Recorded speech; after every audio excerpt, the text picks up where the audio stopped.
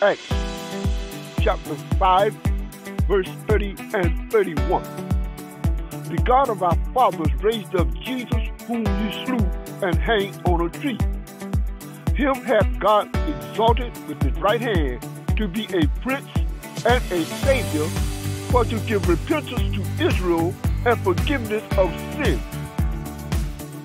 They killed the Prince of Light, but God raised him from the dead. He is the Lord, and beside him is no Savior, and he gives repentance unto life. In Christ Jesus we have redemption through his blood, even the forgiveness of sin. The idea for today, we have a mighty redemption.